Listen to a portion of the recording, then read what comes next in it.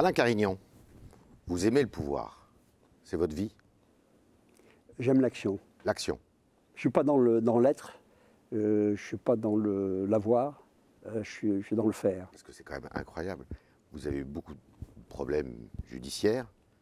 En 2020, 37 ans votre- après votre première élection à la mairie de Grenoble en 1983, où vous gagnez au premier tour, à la surprise générale, là vous remettez le couvert. Après 15 ans d'échec, à la surprise générale, Oui, mais quand même, vous remettez le couvert 37 ans après en vous disant je veux ma mairie de Grenoble.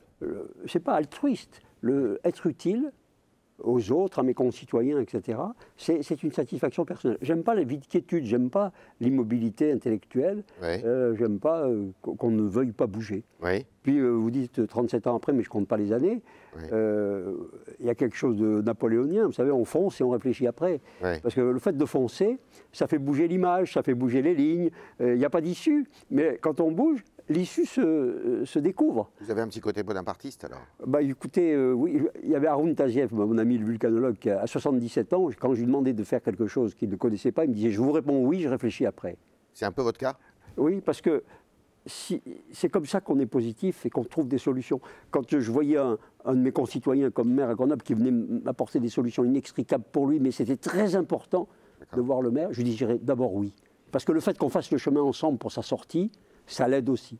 Et quand vous avez exercé le pouvoir, vous réfléchissiez après? Non, quand même. Non, mais euh, c'est c'est l'idée quand même. C'est l'engagement. L'engagement, on y va C'est et. l'engagement qui compte. Oui. Parce que c'est ça qui fait, qui fait bouger. Parce qu'on a trop euh, d'immobilisme politique, on a trop de non-décision, on a trop de non-action, et donc on a trop peu de résultats. Moi, quand vous dites 83, je suis maire, j'ai 33 ou 34 ans, Ouais.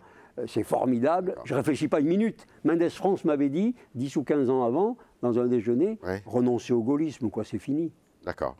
Et, et c'est pour ça peut-être aussi que vous avez cette niaque et vous avez ce, cet euh, appétit de, de faire, de faire bouger les lignes.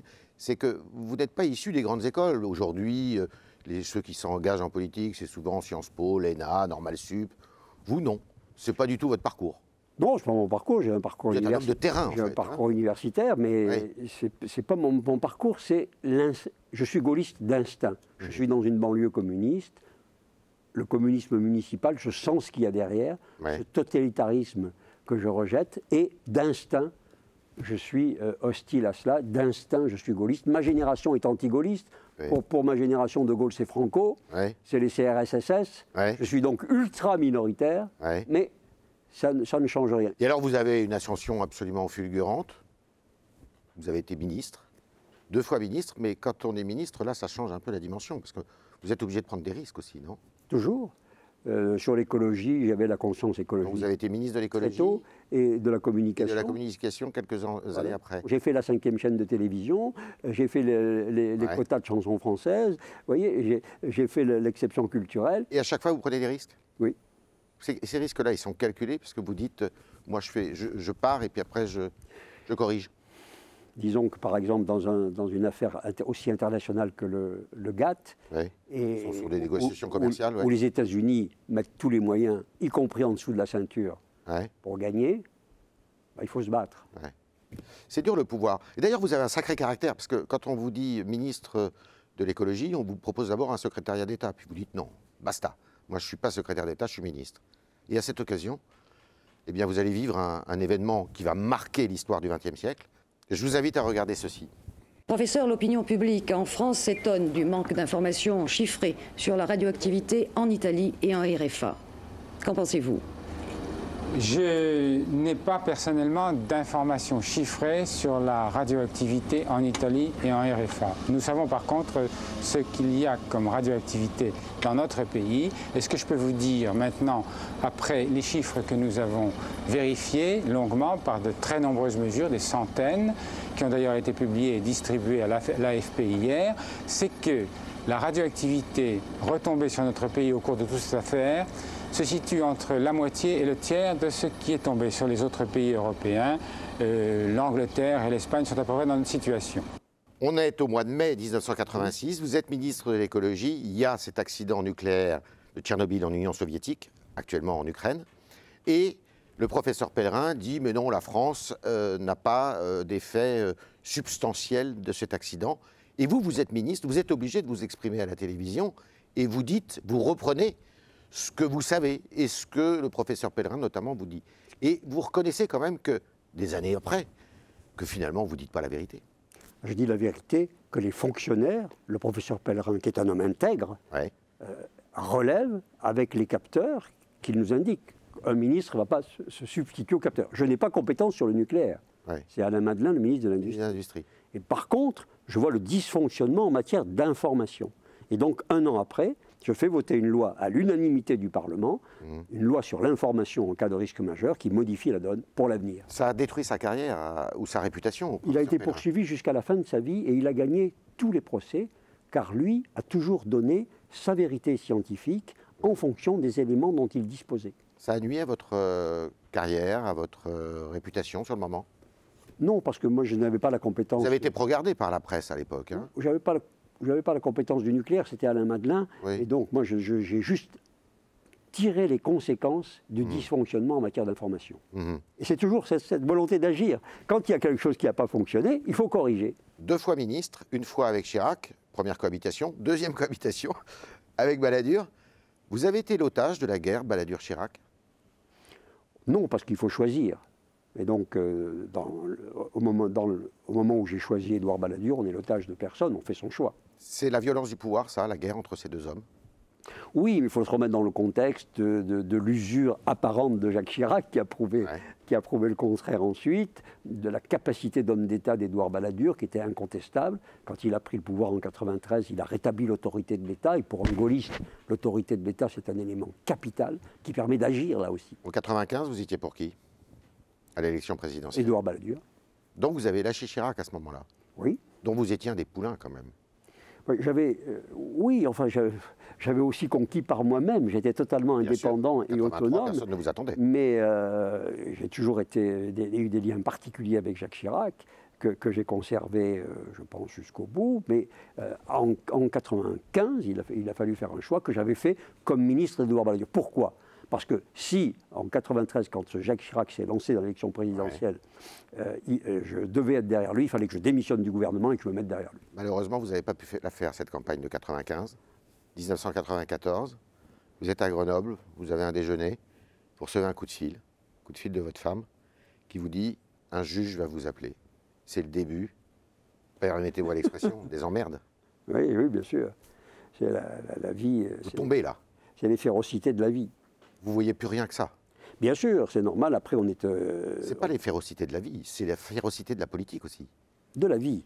Vous savez, la vie est féroce pour tout le monde. Oui. Il faut bien classer férocité et drame. C'est pas un drame. C'est pas un drame? Non, parce que le drame, c'est la perte d'un être cher. D'accord. La férocité de la vie, c'est une, une épreuve qu'il faut essayer de surmonter. Euh, à ce moment-là, je ne raisonne pas du tout comme euh, je raisonne à l'instant. Je suis sur le, le coup et le mauvais coup. On s'effondre d'abord, mais on ne veut pas trop s'attarder sur ces effondrements personnels. hein. Et le premier que vous prévenez, c'est celui qui restera toujours votre ami, Nicolas Sarkozy Oui. Vous l'appelez immédiatement, quasiment, hein, Oui. en disant Je vais euh, avoir des problèmes judiciaires. Oui, c'est normal. Et vous démissionnez. Oui. Vous prévenez Edouard Balladur et vous démissionnez. Et là, après, c'est un calvaire. Vous connaissez l'humiliation. Vous étiez préparé à ça Non. Vous, vous étiez dit que la politique, c'était ça aussi Non, mais c'est pas, c'est la vie. Vous savez, il ne faut pas euh, sacraliser l'homme public. Sauf que quand on est un homme de pouvoir, oui, on mais vous savez- davantage que... Oui, mais les épreuves de la vie, euh, beaucoup de personnes n'ont pas, euh, en ont, très importantes, des épreuves des férocités, des pertes d'emploi, des, des- des familles qui se disloquent, etc. Tout ceci, c'est la vie. Vous savez, moi, je- je- pour moi, le bonheur de la vie, c'est pas la quiétude de la vie. Le bonheur de la vie, c'est aussi d'affronter tous ces éléments. Ouais. Et c'est, euh, au fond, aussi une forme de satisfaction de soi que tous ces éléments qui s'acharnent ou qui, qui- qui sont contre vous, mais vous les passez. Vous, vous êtes qualifié d'une certaine manière pour, euh, pour euh, traverser ces épreuves. Alors vous connaissez l'humiliation, vous connaissez les hordes de journalistes, les transferts entre la prison et euh, le palais de justice, les rendez-vous avec le juge d'instruction. Vous êtes l'homme sous la Ve République qui a fait le plus de prison, Oui. 29 mois. Et vous l'avez raconté dans un livre qui est magnifique, qui s'appelle Une saison dans la nuit. terrible cette, euh, cet univers hein, carcéral. Oui, bien sûr, bien sûr. Je vous invite, en plus, l'humiliation est allée jusqu'au bout. Regardez. La prison Saint-Joseph est un ensemble de cinq bâtiments au centre de Lyon, près de la gare de Perrache. Klaus Barbie, qui occupe une cellule de 10 mètres carrés équipée d'un sanitaire, est totalement isolé. Les 19 autres détenus de ce bâtiment ont été transférés et 24 gardiens assurent la surveillance et la sécurité du criminel de guerre. Cette cellule de Klaus Barbie, criminel de guerre, vous allez l'occuper. Ouais. Qu'est-ce que vous êtes dit à ce moment-là? Vous saviez que c'était la cellule de Barbie? Non, je, je, je l'ai su qu'après. Mais euh, c'est sûr que le, le- il y a un gardien qui a fait un témoignage très hostile à ma personne euh, après, euh, après mon départ, en disant que j'étais pas du tout sympathique. Parce qu'évidemment, il venait me voir en me disant on va faire comme avec M. Barbie, on va discuter, etc. Ah oui, Et donc, j'avais pas du tout envie. ah oui. Et donc, il a gardé un très mauvais souvenir de moi. Cela étant, euh, c'est- les hasards de la vie, euh, c'est ainsi. Vous savez, le, on aurait pu vous mettre dans une autre cellule quand non, même parce que c'est des cellules d'isolement. l'actualité. C'est des cellules d'isolement. Oui. C'est nécessaire qu'on isole les personnes en prison. euh, ça c'est. Vous n'avez eu aucun régime euh, particulier, Ah non, on VIP en prison. La France est un régime égalitaire. Oui. Et c'est c'est- sa qualité. Et, Et sa vous, ri- vous demandiez rien. Et ça, mais vous n'avez pas le droit de demander, mais c'est sa force. La force, c'est que tout le monde est traité de la même façon. Mhm. C'est euh, quelque chose qui est consubstantiel dans notre pays, ce régime d'égalité. Et vous, vous êtes la manifestation de ça en fait. Vous n'avez rien demandé, vous êtes devenu maire de Grenoble. En 1983, personne ne vous attendait. On vous propose un poste de- au gouvernement. Vous dites non, non, moi je veux un poste supérieur. Donc c'est vraiment la force du poignet, vous. hein. Vous avez un courage. euh, Non, je n'ai pas, pas de courage, il y a peut-être une forme d'inconscience, c'est-à-dire se, se dire que moi je suis pour l'action, je suis pour résoudre les, les problèmes quand qu'on me pose. Et donc si je sais que, euh, par exemple, on me dit que vous êtes secrétaire d'État de l'environnement, c'est pas possible parce que c'est déjà important, l'environnement, ce sera pas, c'est Sarkozy qui en fera le ministère d'État, mais c'est déjà important, donc je ne pourrai pas agir. À partir de là, ça ne m'intéresse pas. Si je peux être utile, si je peux faire, c'est pas altruiste. Je ne me définis pas comme altruiste. Ça me donne satisfaction que d'être utile. Qu'est-ce que vous avez fait en prison? Ben, J'ai lu, j'ai écrit, voilà. ouais. J'ai fait du sport, Vous avez pensé euh, au suicide? Bien sûr. Dans votre livre, Une saison euh, dans la nuit, vous dites j'ai pensé à quelqu'un qui, euh, pour qui j'ai finalement beaucoup de respect, beaucoup d'admiration, Pierre Bérégovoy. On ne s'attend pas à ça parce qu'il a eu des problèmes qui l'ont conduit au suicide.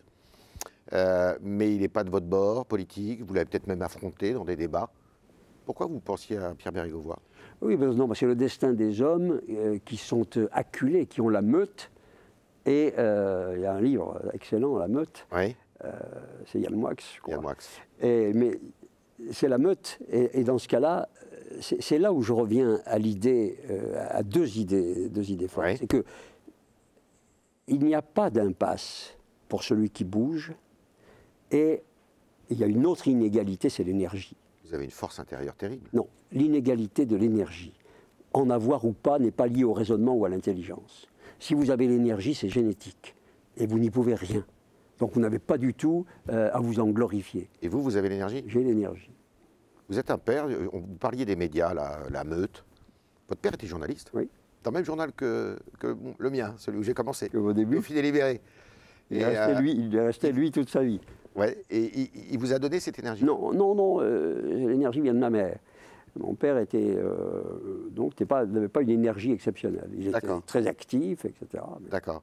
Et donc, et vous avez aussi fréquenté dans cet univers carcéral, bah, disons le mot, des voyous, des gens qui étaient là parce qu'ils avaient trafiqué la drogue et tout. Vous aviez des conversations avec eux? Mais là aussi, vous savez, on- partout où on est, on essaye d'être utile. Après, on fait les courriers, etc. Alors vous étiez utile à quoi? Vous, vous à écriviez faire leurs les lettres? courriers, à faire les, les choses de ce genre, à donner des conseils, voilà. Vous gériez leurs affaires aussi? Non, non, non. mais par Ils ne venaient contre, pas vous voir en disant, euh, voilà, qu'est-ce que je dois faire euh, non, moi j'essayais de les orienter pour, pour sortir de la situation dans laquelle ils étaient et dans laquelle ils voulaient perdurer, ce qui était une impasse Mmh. pour eux et pour leur avenir. Leur dire que bon, cet avenir, de- de- ce- ce- cette délinquance dans laquelle ils étaient, elle n'avait aucun avenir ni pour eux, ni pour leur famille. Et vous, vous n'étiez pas un délinquant? Moi, j'étais euh, quelqu'un qui a été condamné pour des financements politiques sans aucun enrichissement personnel, à une période où les financements politiques étaient monnaie courante, puisqu'il n'y avait pas de loi. Ouais. J'ai payé ma dette à la injuste donc. j'ai payé ma dette à la société. Je ne dis pas juste ou injuste, j'ai payé ma dette à la société. Je suis libre à l'égard de la société. Et s'il y a un homme public qui peut parler de l'avenir et des idées librement, C'est beau. Parce que. euh, mais vous ne vous êtes pas enrichi personnellement, ou il n'y a pas eu de. Vous étiez au courant de ce qui se faisait autour de vous? Parce qu'en fait, tout est parti d'une histoire d'un journal que vous aviez créé, qui s'appelait Dauphiné News, et qui a eu des problèmes financiers qui ont été renfloués par une société qui était très connue à l'époque, qui s'appelait la Lyonnaise des Eaux, avec un homme d'ailleurs qui jouera un rôle dans le RPR qui s'appelle Jérôme Monod. Vous étiez au courant de tout ce renflouage d'argent? Le, le financement politique était naturel. Je veux dire, tout le monde, tous les hommes politiques fonctionnaient de cette façon. Ça a pourri la vie finalement de la. Enfin, la- Mais non, pas politique. de très peu d'hommes politiques. Ça a, politiques. ça a pourri la vie de très peu d'hommes politiques par rapport à la pratique Ouais. euh, générale. Mais euh, vous savez, c'est comme, je sais pas, euh, il y a des excès de vitesse, euh, il y en a 10 qui ne sont pas pris dans l'excès de vitesse et vous, vous êtes, euh, vous êtes verbalisé. Euh, c'est pas parce que les autres ne l'ont pas été que vous n'avez pas fait d'excès de vitesse. Mhm. Mais il y, a une, il y a une formule qu'a qu'a utilisée euh, Bernard-Henri Lévy qui, pour résumer cela, c'est vous avez fait un pas de trop dans l'époque suivante avec les sabots de la précédente. C'est exactement votre cas.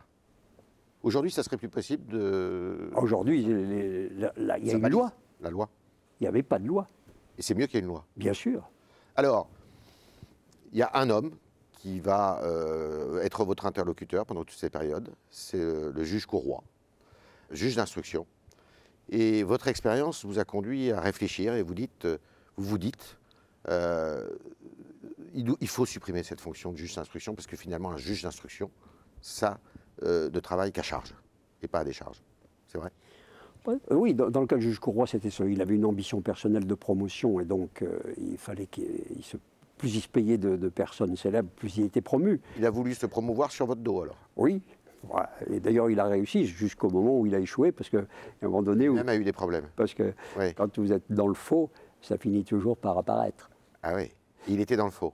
bien sûr, pour lui-même. Et c'était un homme qui était euh, mu par l'ambition, une, une ambition extraordinaire. Oui, bah, écoutez, c'est pas non plus, les ambitions sont, sont- sont pas totalement anormales. Oui. Simplement, quand elles broient des vies, euh, elles peuvent être tout à fait Vous en discutables. avez fait les frais. C'est son cas. Mais peu importe, puisqu'à la fin, ça se termine mal pour lui, pas aussi mal que, qu'il- que ce pourrait être, compte tenu de ce que je sais, Ah oui, vous savez quoi? Ben, sur la façon dont il a servi les pouvoirs. D'accord. Y compris celui de Nicolas Sarkozy. C'est pour ça que je vous dis, c'est compte tenu de ce que je sais. Cela étant, euh, je crois que la- cette fonction-là est une fonction très difficile, parce que c'est très difficile d'être neutre dans des dossiers de ce type. Qu'est-ce qu'on fait alors? Que donc, il faut vraiment modifier euh, les choses.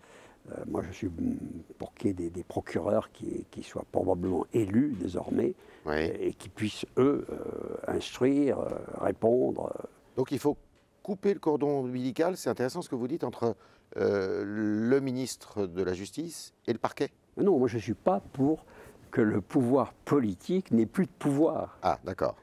Moi, je suis pour que le pouvoir politique dispose de pouvoirs et les conserve dans la politique pénale, dans toutes les politiques. Parce que plus on déshabille le pouvoir politique, moins celui-ci peut avoir de résultats. On a une situation schizophrénique de la part des Français. Ils veulent que les, que les hommes politiques aient de moins en moins de pouvoir et ils veulent qu'ils aient des résultats. Oui. C'est Et on contradictoire. ne peut pas avoir des résultats si on n'a pas tous les pouvoirs. Si on n'a pas des pouvoirs. Les pouvoirs. Le- Mais pour ce qui est de la justice, justement, parce que c'est intéressant, vous dites, je suis pour un procureur élu. Mais s'il est élu, le procureur, il doit en référer quand même à son ministre de la Oui, Justice. il en référera au peuple. C'est lui qui l'aura élu parce qu'on ne peut plus, si vous voulez, exercer aujourd'hui. Il faut que des, des- des procureurs soient euh, les mandataires du peuple. Ils exercent en fonction du peuple. Il faut qu'ils le fassent. C'est une justice à l'américaine alors? Il y a pour partie, pour partie. On a vu ce que ça donnait avec l'affaire DSK. Euh, Où vous êtes livré en pâture aussi. Oui, oui, mais on est livré en pâture de toute façon, puisqu'il n'y a plus de secret d'instruction. Il n'y a plus de secret d'instruction. Ça, c'est aussi un- une chose à voir. Le rôle des médias, vous, on parlait de votre père euh, qui a été journaliste et tout ça. Les médias aujourd'hui sont, euh, à votre avis, euh, contre le pouvoir nécessairement? Non, mais c'est- c'est un- une forme de contre-pouvoir. Mais dans les dossiers judiciaires, ils sont instrumentalisés par leurs sources, c'est évident. Ouais. Ils leur donnent des informations au compte-gouttes en fonction de, de- de ce qu'elles veulent faire passer. Mais on ne peut pas en vouloir aux médias que de reproduire les informations dont ils disposent. Vous vous êtes toujours méfié des journalistes? Méfiez, non. Non. Non, moi, je ne suis pas méfiant. D'accord. je fais plutôt confiance a priori. Alors, vous dites en fait finalement, euh, ce qui est intéressant, c'est pas de chuter, c'est de se relever. Vous l'avez dit ça. Oui. Vous avez des gens qui vous ont aidé pour ça. Oui, mais j'ai eu, bien sûr. bien Beaucoup d'amis. Vous avez été entouré. Vous n'avez pas. Oui. On vous a pas laissé sûr. Non, tomber. non, Jamais. jamais. Et il y a un homme qui apparaît dans le paysage. On s'attend pas à le voir là. Bernard-Henri Lévy. Pourquoi il vient vers vous? C'est lui qui vient vers vous? Oui, parce que d'abord on se connaissait, on échangeait beaucoup avec lui, et échangé beaucoup avec lui, avec plusieurs intellectuels français, plusieurs écrivains. quand vous étiez en prison? Avant, Avant. depuis les années 80, etc., D'accord. je connais. Alors que vous n'êtes pas d'un milieu intellectuel et tout ça. Enfin, vous. Mais je suis passionné de littérature depuis, depuis ma tendre enfance, donc euh, je suis Donc vous échangez avec lui. J'échangeais Et avec lui, lui oralement. des causes pour vous. Oui, lui prend cause, mais euh, euh, Condera aussi. euh, beaucoup d'écrivains euh, me soutiennent, lance un appel, Françoise Sagan, Oui. euh, qui écrit dans le Figaro oui. un papier pour s'étonner de, de la situation que l'on me fait. J'ai beaucoup de, de- de personnes de ce genre, de, écrivains, philosophes, mais aussi Lynn Renault, qui, qui- qui, se- très activement se, se mobilise. Beaucoup d'hommes et de femmes de Luc Ferry, qui- très différents. Et quand vous sortez de prison, vous allez loger chez Bernard-Henri Lévy. Oui. Pourquoi? Parce qu'il me, il me- il veut me protéger, il veut me, me réconforter. Protéger de qui? Bah, me protéger peut-être contre moi-même, contre, contre l'uni- l'univers que je vais redécouvrir. Et donc ma femme et moi, il nous, il nous- il nous demande de venir chez lui et de, et, et de nous ressourcer Et il vous ressource. Oui. Par les nourritures spirituelles? Par, par toutes les nourritures, Ouais, j'imagine. mais euh, surtout le temps, que, le temps dont, dont nous avons besoin. Vous, restez combien de temps chez lui? Oh, euh, genre 15 jours, 3 semaines. et, et de, ce moment-là, vous avez toujours gardé, je dirais, euh, votre univers intellectuel. euh, Oui, Vous parliez d'Yann Moix tout à l'heure, ça fait partie de, de, de- Oui, des gens qui que vous fréquentez beaucoup. qui, qui intervient après lui, bien après, Et ils vous demandent conseil, ces gens-là aussi? et qui me prend, non, ils n'ont pas besoin de conseils, non, mais qui prend ma défense bien après, Oui. Yann Moix, très courageusement. Vous êtes un réalité. homme euh, étonnant, parce que un homme de l'action, mais qui adorait la réflexion finalement. Oui, bien sûr, quand je, quand je plaisante sur on agit, on réfléchit après, ça n'empêche pas de, réfléchir. Mais ce que je veux dire, c'est qu'il y a deux hommes. Il y a l'homme d'action qui est l'homme public, celui qui doit réaliser, celui qui doit concrétiser, celui qui doit être présent, répondre, agir. Et puis, euh, il y a une part de lui-même euh, qui est effectivement dans l'échange d'idées, d'intellectuels avec des, des- des hommes de littérature. Ça, c'est pour moi, c'est essentiel à ma nature. Le pouvoir, il est moral. Vous savez, pour moi, la morale, elle est personnelle. Tout ce qui est morale collective, c'est l'ordre moral. Et tous ceux qui font état de la morale en permanence sont en général des tartuffes. Parce que j'ai constaté, dans tous ceux qui m'ont écrit, j'ai une longue lettre de Mathieu Ricard quand j'étais en prison, Ah oui. euh, avec lequel j'avais aussi des liens, lui et le Dalai Lama depuis très longtemps, depuis les années 80 également. de- euh, et, et donc, toutes ces personnes qui ont euh, une valeur morale ne la mettent jamais en avant, parce qu'ils savent qu'ils ne sont jamais à la hauteur de la morale à laquelle ils aspirent. Et tous ceux qui ont très peu de morale et qui sont des tartuffes ne parlent que d'elle. Donc vous vous méfiez des donneurs de leçons? Ah, je- Non, surtout que j'ai l'expérience de cela. Ceux qui en donnent le plus sont ceux qui méritent le moins d'en donner. Alors BHL, Mathieu Ricard, le Dalai Lama, et puis une femme, toujours à vos côtés. Ah, ça me fait plaisir. C'est Jacqueline. Jacqueline qui, euh, du début à la fin, sera toujours là. C'est elle qui vous prévient d'ailleurs la première du coup de fil que vous allez recevoir du juge Courroy. Et euh, elle a été essentielle. Vous partagez tout, tous vos secrets avec elle. Oui. Et vous ne la mettez jamais en avant. Et elle ne se met jamais en avant. C'est elle qui ne se met jamais en avant. Oui, mais vous ne faites pas, pas ma compagne Oui, et, euh, déteste euh, la vie publique et l'affichage. Donc, elle a une vie euh, personnelle euh, et qui est à l'écart de tout ce qui est public, mais qui effectivement est elle vous a tenu, plus, plus que proche de moi. Nous sommes euh, euh, nous avons- fusionnel. fusionnels en ce sens que, oui, on se parle tout le temps. On ne peut pas faire de la politique si on n'a pas une compagne, un compagnon. C'est pas possible. Je ne sais pas, parce que je ne peux pas répondre pour tout le monde. Euh, ce que je sais, c'est que nous avons besoin les uns des autres, nous avons ces proximités, tout en étant euh, nous-mêmes indépendants. On n'a pas les mêmes euh, conceptions, la même façon de vivre, et c'est cette complémentarité qui fait que, nous sommes bien ensemble. Et oui, il faut toujours avoir un, jardin privé quand on est homme public, homme politique. Mais, mais, on peut très bien avoir des conceptions de vie très différentes entre un homme et une femme, et être euh, ensemble euh, de façon très forte. En 2002, vous songez à revenir en politique et euh, vous voulez réintégrer le RPR à l'époque, ou l'UMP. Et il y en a qui tordent le nez. Hein oui, bien sûr. Il y en a un qui vous impose. C'est finalement celui qui sera toujours à vos côtés, c'est Nicolas Sarkozy. Il doit vous imposer dans votre propre famille politique. Oui, mais je ne me souviens plus de, comment ça s'est passé parce que c'est un point de, pardon, de détail. Euh, mais euh, Nicolas Sarkozy, c'est un homme courageux. Il faut bien comprendre euh, que le candidaton, ce n'est pas son problème. Et donc, il a la capacité d'affronter la meute, d'affronter l'opinion publique s'il le faut. Et il a cette capacité de courage. C'est en cela que je, que je l'admire et que je trouve que c'est quelqu'un d'important. Parce qu'il y a très peu d'hommes d'État courageux. La politique, c'est votre vie. Vous êtes conseiller municipal maintenant.